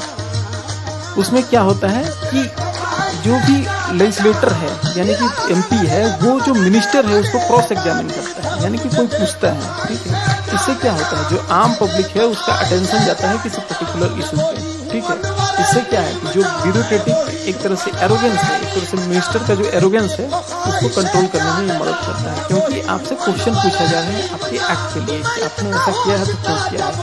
या आप आप इसके बारे में क्या कर रहे हैं? पब्लिक इंपॉर्टेंस का ये चीज़ है, इसके लिए आप क्या कर रहे हैं? तो क्वेश्चन आवर में ये चीज़ है। उसके बाद क्वेश्चन आवर के जस्ट बाद होता है हाफ़ एन आवर डिस्कशन इसको शॉर्ट डिस्कशन में बोला जाता है। इसमें क्या होता है कि हाफ़ एन आवर का टाइम जो है वो क्वेश्चन आवर के जस्ट बाद का जो समय है, उसको निर्धारित किया जाता है। जैसे क्वेश्चन आवर में किसी मंत्री ने कुछ सवाल पूछा है, मंत्री इन द सेंस कोई भी एमपी ने सवाल पूछा है और कोई मंत्री उसका सही जवाब नहीं दे रहा ठीक है तो वो कंसर्न मिनिस्टर से इस हाफ़ एन आवर के दौरान क्वेश्चन पूछ सकता है ताकि उसकी संतुष्टि के वो पहले जवाब से संतुष्ट नहीं हुआ तो और भी रिलेवेंट इंफॉर्मेशन के लिए वो क्वेश्चन पूछा जा सकता है। ठीक है इससे क्या है कि जो पब्लिक एग्रेवियंस है जो आम जनता में कोई तकलीफ़ है जो इमीडिएट कंसर्न का चीज़ है वो चीज़ वो मन, वो एमपी सामने ला सकता है और मुख्यमंत्री से पूछ सकता है। अगर वो क्वेश्चन आवर में सही सेटिस्फेक्टरी आंसर नहीं मिलता शॉर्ट डिस्कशन क्या होता है? इस शॉर्ट डिस्कशन के लिए अगर कोई भी मैटर है शॉर्ट डिस्कशन का, प्रायर परमिशन लेना पड़ता है स्पीकर से। यानी कि स्पीकर परमिशन देगा उसके बाद ही आप क्वेश्चन पूछ सकते हैं। वो क्वेश्चन अर्जेंट पब्लिक इंपॉर्टेंस होना चाहिए। इसमें क्या है?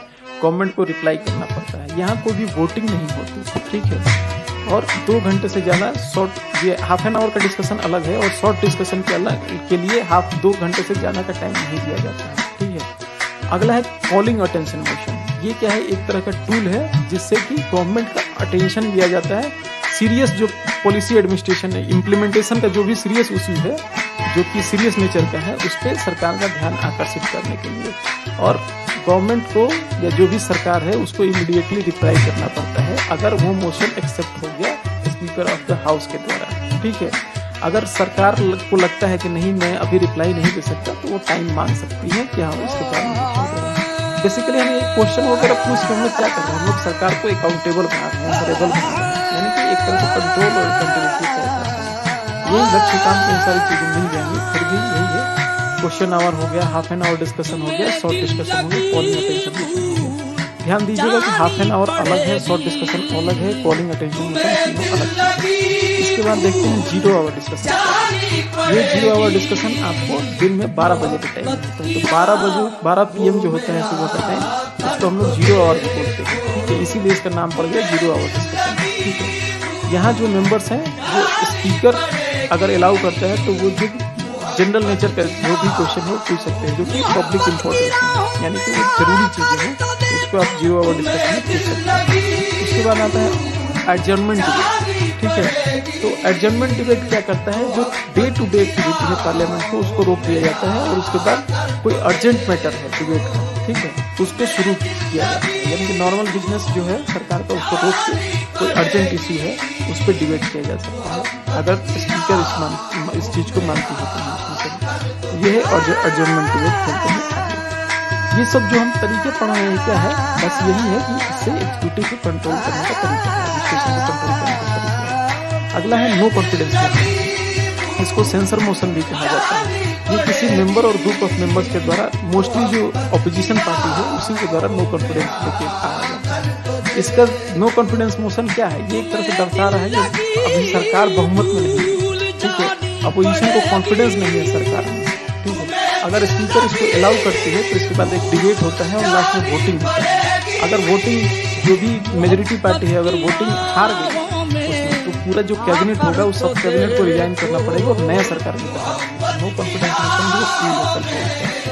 इसके बाद है डिबेट्स ऑन लेजिस्लेशन अब कोई भी बिल जो है, वो बिल जब डिस्कस होता है, उसके बाद एसेंट प्रेसिडेंट का वो एक्ट बनता है लेकिन ये बिल बिल से एक्ट बनने के बीच में बहुत सारे डिस्कशन होते हैं। तो क्लोज टू क्लोज में डिस्कशन होता है, बहुत सारे तरह का डिस्कशन होते हैं। तो वो क्या है? वो भी एक तरह से कंट्रोल करने का तरीका है। किसको एडमिनिस्ट्रेटर अगला है पार्लियामेंट्री बहुत पार्लियामेंट्री तो कमेटी तो बहुत सारी है लेकिन अभी हम लोग देखेंगे कमिटी ऑन एश्योरेंसेज और कमेटी ऑन सबॉर्डिनेट अभी क्या है बहुत सारे मंत्री हैं ठीक है? उनसे अगर कोई क्वेश्चन पूछा गया तो वो एश्योर कराते हैं कि अगले दो महीने में हम ये काम कर देंगे ठीक है? लेकिन वो काम उनको किया है कि नहीं किया है उसको देखने के लिए तो कोई तो होना चाहिए। उसके लिए होता है कमिटी ऑन एश्योरेंस ये क्या करता है? ये स्क्रूटनी करता है जो भी प्रोमिस और या अश्योरेंस है या अंडरटेकिंग किसने लिया? मंत्री ने लिया। हाउस में बहुत सारे मंत्री उसको बोलते हैं नहीं ये काम हम करवाए हैं या ये काम हम करवाएँगे। इसको क्या है? कमेटी ऑन एश्योरेंस रिपोर्ट करता है कि ये काम हुआ है कि नहीं। ठीक है यानी उसका सही से इम्प्लीमेंटेशन हुआ है। तो इसलिए क्या है? वो मिनिस्टर्स को ठीक है अगर अपने प्रोमिस से हट रहे हैं तो उसको एक तरह से कंट्रोल करते हैं उनको अकाउंटेबल बनाते हैं ठीक है। तो उनको उनकी ड्यूटी याद दिलाते हैं कि आपने ये काम किया था। अब देखते हैं कमिटी ऑन सबोर्डिनेट लेजिस्लेशन ठीक है? सबोर्डिनेट लेजिस्लेशन हम लोग पढ़े हैं डेलीगेटेड लेजिस्लेशन इस कमिटी का मेन पर्पज क्या है? कि ये जो एग्जामिन करता है कि जो भी रूल्स और रेगुलेशन बनाए हैं एग्जीक्यूटिव के द्वारा। ठीक है? एक्चुअली एग्जीक्यूटिव क्या करते हैं? वो खाका तैयार कर दिया लेजिस्लेचर ने और उसमें जो भी गैप है उसको फिल करते हैं एग्जीक्यूटिव ठीक है? जो भी पार्लियामेंट एक्ट इनेक्ट करती है, उसमें बीच में वो कंप्लीट करते हैं टेक्निकलिटीज वो डालते हैं। तो ये क्या करता है कमेटी ऑन सबोर्डिनेट लेजिस्लेशन ये देखता है कि ये जो रूल्स एंड रेगुलेशन है, ये जो लिमिट दिया गया है मेन लॉ में या मेन खाका में जो लिमिट दिया गया है, उससे एक्सीड तो नहीं कर रहे हैं। मतलब कि जो भी एग्रीमेंट हुआ था लेजिस्लेचर और एग्जीक्यूटिव के बीच में, कि हाँ ये ला है, ठीक है, आपको इसके बाद सबोर्डिनेट लेजिस्लेशन के थ्रू ये बनाना है, जो कि आपसे उसको फिल करना लेकिन आप जो भी एग्रीमेंट है उसके एक्सीड तो करके ला नहीं बना रहे हो ना? यानी कि ला आपका विद इन लिमिट है कि लिमिट है ये काम कौन चेक करता है? ये सबोर्डिनेट कमिटी और सबोर्डिनेट लेजिस्लेशन का काम अब देखिए, इसमें एमसीक्यू वगैरह बहुत आते हैं तो वो सब आपको लक्ष्मीकांत का पढ़ना होगा। जैसे लोकसभा के पंद्रह मेंबर राज्यसभा के पंद्रह मेंबर होते हैं। टोटल तीस मेंबर होते हैं ट्वेंटी वन ये सब आपको उधर देखना होगा। अगला है लिमिटेशन टू लेजिस्लेटिव कंट्रोल अब देखिए लेजिस्लेटिव कंट्रोल तो करता है एग्जीक्यूटिव पे। एग्जीक्यूटिव पे करता है एडमिनिस्ट्रेशन पे करता है।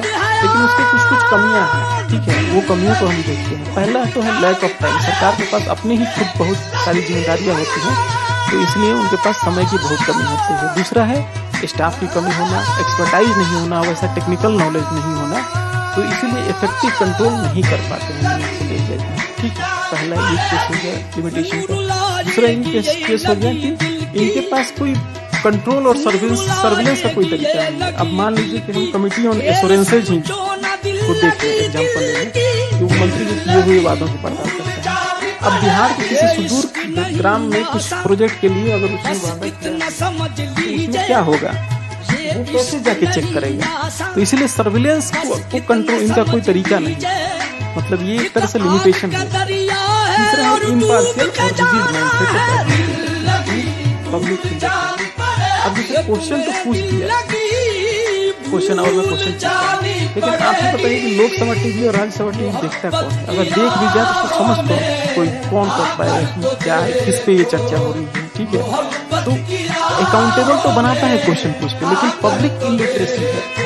अगर पब्लिक इलिटरेसी है तो वो क्या है? वो पर्पज सॉल्व नहीं हो पा रहा है। दूसरा है कि जो एडमिनिस्ट्रेटर का है जो है माइंड सेट है, वो रिजिड है। ठीक है? इसलिए अगर क्वेश्चन भी पूछ रहे हैं और हम वैसा एक्ट नहीं कर रहे हैं तो क्या हो गया? डिफाई हो गया एक तरह से लेजिस्लेशन को। लेजिस्लेटिव का कंट्रोल करने का पर्पस ही ठीक है? एक और कमी है जो इसमें नहीं दे रहा हूँ। अगर देखिए लेजिस्लेचर में मेन मेजोरिटी किसका होता है? सरकार का ही होता है। तो अपोजिशन मान लीजिए, कांग्रेस के पचास ही मेंबर होंगे और और छिटपुट पार्टियों के हो गए और मेजोरिटी बीजेपी की है तो वो कुछ क्वेश्चन ही पूछ करेंगे तो कौन सुनता नॉर्मली क्या होता है? आजकल लेजिस्लेटिव कंट्रोल देखने को मिलता कहाँ? कॉमेडी होती है पार्लियामेंट में अगर कोई क्वेश्चन पूछता भी है तो उसका कोई मजाकिया अंदाज में या सार्कास्टिक वे में कोई जवाब देता है या बीच में कोई वाकआउट कर जाता है तो चिल्लम चिल्ली होते रहता है तो मीनिंगफुल डिबेट नहीं आता है। तो एक्चुअल कंट्रोल एक्सरसाइज करना है लेजिस्लेचर को एग्जीक्यूटिव को, वो देखने को नहीं मिलता। वो एक तरह से चिल्लम चिल्ली नहीं। चौथा है बिज़नेस बिज़नेस ग्रुप लॉगिंग अब क्या है? बहुत सारे बिज़नेस टाइकोन अब देखेंगे कि रिलायंस वगैरह है या बहुत सारे बिज़नेस बड़े बड़े बिज़नेस वाले जो हैं, वो क्या करते हैं? मंत्री को परसुएट करते हैं से उनका लॉबिंग करते हैं कि हमारा ये चीज़ होना चाहिए, ठीक है? यानी कि इंडस्ट्री के लिए आप ये कदम उठाइए कोई कोई टैक्स कम करने की बात करेगा, कोई कोई लाइसेंसिंग में छूट देने की बात करेगा या बहुत तरह की ऐसी चीज़ें हैं तो, तो ये बिज़नेस ग्रुप क्या होते हैं? ये लॉबिंग करते हैं ठीक है? ये जो भी मंत्री होते हैं या लेजिस्लेचर में लोग मेंबर ऑफ़ लेजिस्लेटिव असेंबली या जो भी एमपी होते हैं इनका इनको परसुएट करते हैं कि हमारा जो इंटरेस्ट है आप इसको सॉल्व कर दीजिए। तो ये भी एक तरह से लिमिटेशन है उनके अकॉर्डिंग काम करना पड़ेगा। ये है। पांचवा है seniority instead of merit defence ठीक है? तो ब्यूरोक्रेसी में क्या है? मेरिट से ज़्यादा सीनियरिटी पे प्रमोशन प्रमोशन दिया जाता है। तो अगर किसी को आप सीनियरिटी वाइज प्रमोशन देंगे तो उसमें क्या होगा? अंदर से वो इनोवेशन सब खत्म हो जाएगा। यार मुझे टाइम के साथ तो प्रमोशन मिलेगा मिलेगा बिगर है और नया आइडिया है उसके अंदर वो खत्म हो जाता इसलिए उसका जो इंटरेस्ट है काम में, वो कम हो जाता है। ठीक है? एक तरह से क्या है? ये पूरे सिस्टम को हम करते हैं। आगे है, अब लेजिस्लेटिव कंट्रोल से क्या है? क्योंकि लेजिस्लेचर अगर कुछ भी बोलता रहे तो वो करेगा। ठीक है? क्योंकि लेजिस्लेचर अगर चिल्लाता भी रहे तो उसको पता है कि मुझे प्रमोशन मिलना ही है टाइम से तो वो करेगा क्यों?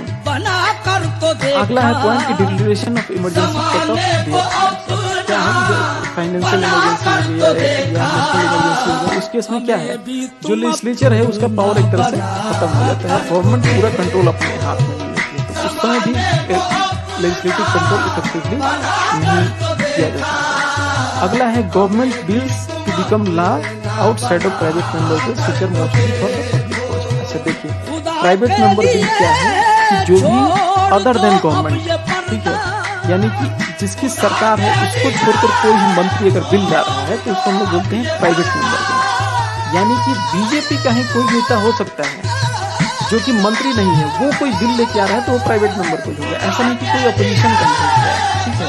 Private member bill, for example मान लीजिए शशि तरूर ही कोई बिल लेके आ रही है जनरली ये पब्लिक कोज के लिए बिल लेके आते हैं लेकिन मेजोरिटी क्या है? लेजिस्लेचर में भी एग्जीक्यूटिव वाले की मेजोरिटी मेजोरिटी है वो क्या है? वो वो बिल डिफाई हो जाता है। यानी कि वो बिल कभी पास ही नहीं होता, कभी पास ही नहीं होता। क्योंकि उसके पास मेजोरिटी है ही नहीं। ये क्या है? ये भी एक तरह से लेजिस्लेटिव कंट्रोल का एक तरह से कहीं निगेटिव पॉइंट है लिमिटेशन आठवां देखते हैं कि कभी कभी क्या ऐसा होता है कि लेजिस्लेचर जो है वो फंड जितना चाहिए उतना ग्रांट नहीं कर पाता है।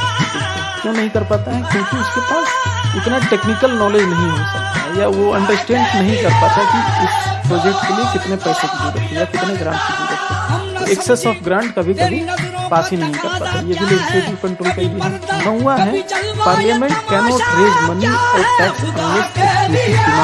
but it can only reduce और एबोलिश एक लाइन लिख दिया है, लेकिन इसका थोड़ा सा व्याख्या समझना मुश्किल मुश्किल क्या है कैसे इसको देखिए, बोल रहा है कि पार्लियामेंट जो है, ये बजटिंग का बात कर रहा है।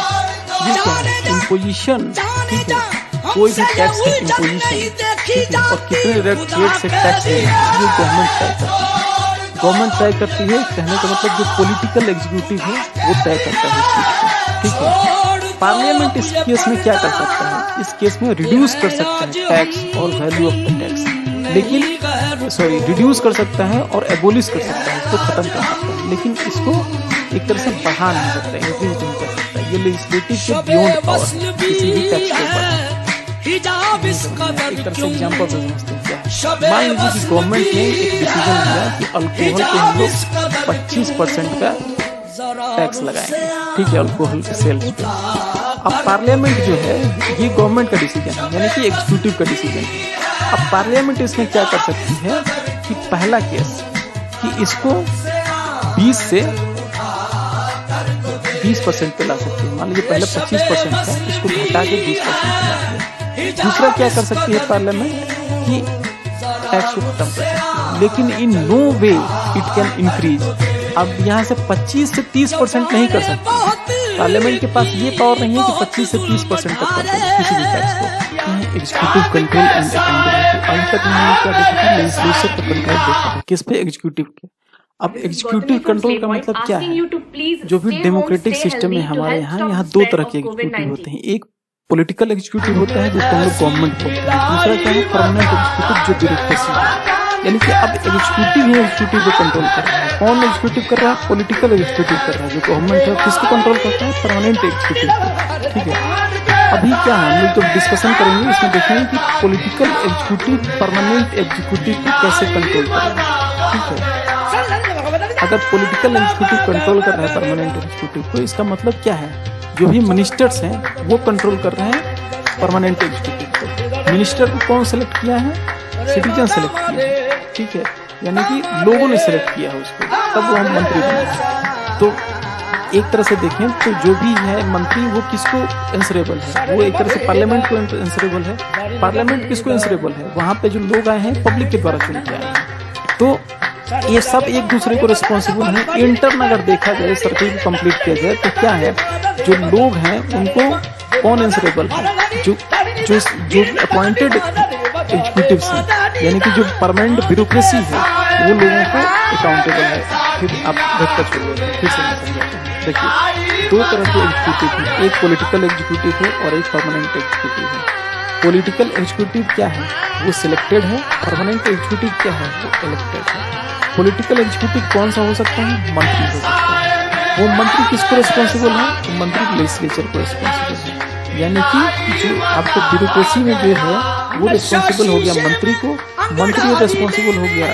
जो भी पार्लियामेंट है उसको, और पार्लियामेंट में जो लोग सदस्य हैं वो चुन के कहाँ से आए? लोगों के द्वारा चुन के आए? हैं तो वो रिस्पॉन्सिबल हो गया लोगों को इंटर्न अगर इस सर्कल को कंप्लीट किया जाए तो ये कहा जा सकता है कि जो भी इलेक्टेड परमानेंट रिप्रेजेंटेटिव है, यानी ब्यूरोक्रेसी है, वो लोगों को रिस्पॉन्सिबल हो गई ठीक है चेन घूम फिर तो वैसे ही कंप्लीट हो गया अब ये देखिए कि जो रिस्पॉन्सिबिलिटी है ब्यूरोक्रेसी की, किसके प्रति?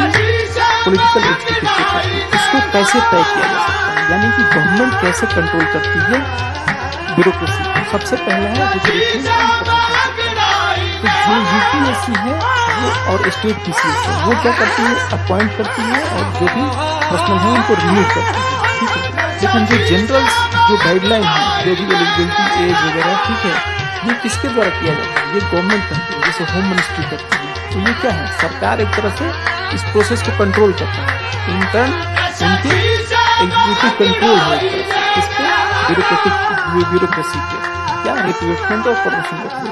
दूसरा है एग्जीक्यूटिव लॉ मेकिंग अभी देखिए क्या होता है कि जब इमरजेंसी के टाइम में ऐसा सोचिए कि जब पार्लियामेंट सेशन में उस समय क्या होता है? कोई रूल लॉ रेगुलेशन बनाना होगा तो कौन बनाता प्रेसिडेंट बनाता है, उसको हम लोग बोलते हैं ऑर्डिनेंस अभी क्या होता है कि एक और टर्म जो हमने डिस्कस किया था डेलीगेट तो ये दोनों क्या है? एग्जीक्यूटिव के अंडर में है लॉ बनाना। क्योंकि पार्लियामेंट जो प्रेसिडेंट है, वो भी तो एग्जीक्यूटिव है।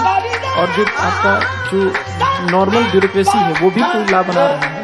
जो जिसको आप बोले डेलीगेटेड लेजिस्लेशन ठीक है? तो वो भी क्या है? एक तरह से ला मेकिंग कर रहे हैं एग्जीक्यूटिव यहाँ पे ला बना रहे हैं।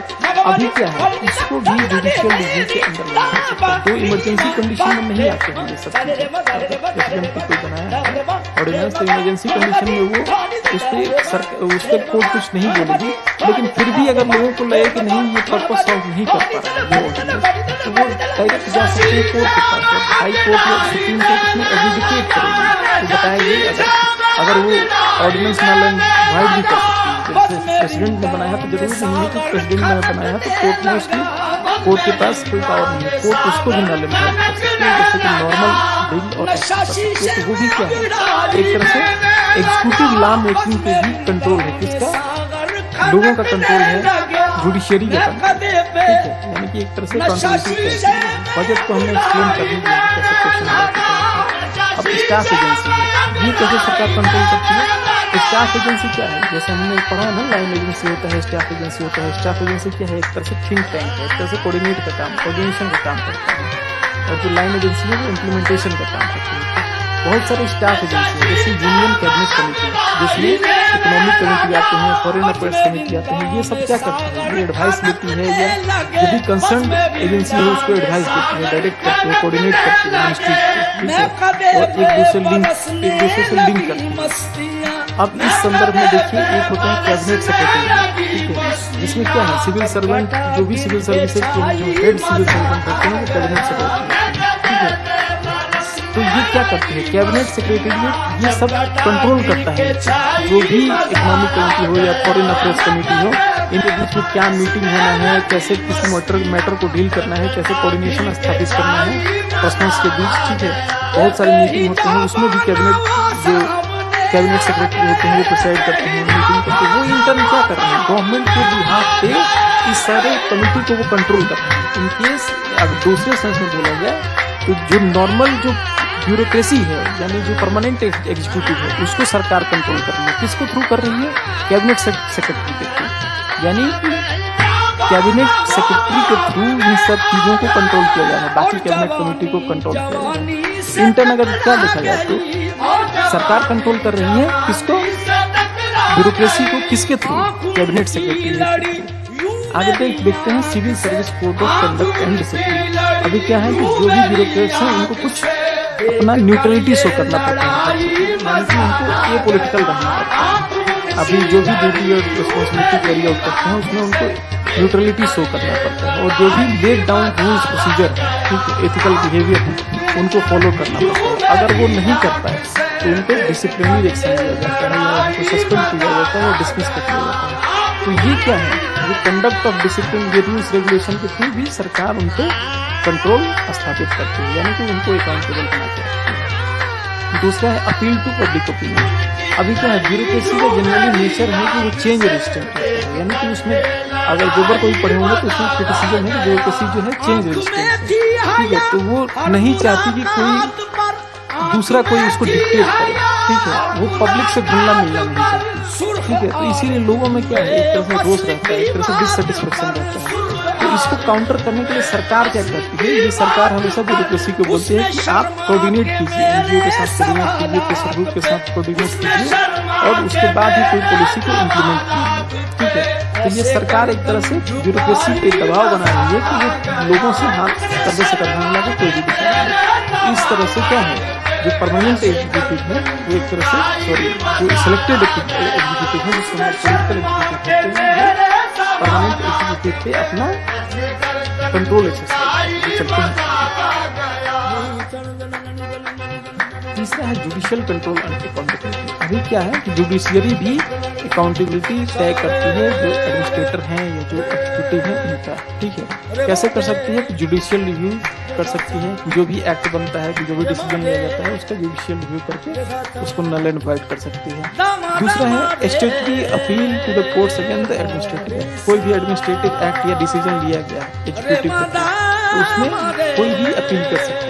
ठीक है। जैसे पब्लिक इंटरेस्ट लिटिगेशन कोई डाल सकता है तो आप बहुत सारे केसेज कर सकते हैं, ठीक है। फंडामेंटल राइट्स की केस में तो आप डायरेक्ट जा भी सकते हैं आर्टिकल 32 के अनुसार या 226 के अनुसार। तो ये क्या है? ये प्रोसीजर है जिससे जुडिशियरी कंट्रोल करती है। एक्सेस ऑफ़ अगर कोई पावर एक्सरसाइज कर रहा है, उसके लोग जो नॉर्मली जो लोग हैं, वो जो प्राइवेट पार्टी है, वो सूट कर सकती है, ठीक है? सूट फ़ाइल कर सकती है सेंट्रल और लोकल गवर्नमेंट के थ्रू ठीक है? उसमें भी क्या है?